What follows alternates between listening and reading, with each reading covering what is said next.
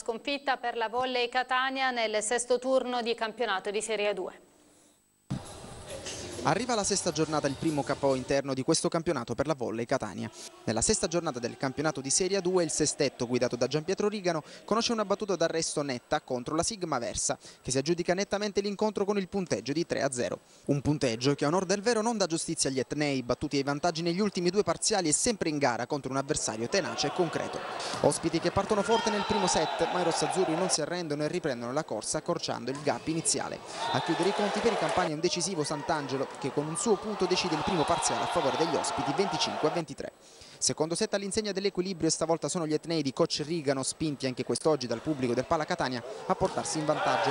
Ma dopo il time out si risvegliano gli ospiti che si aggiudicano anche questo parziale con un potente muro.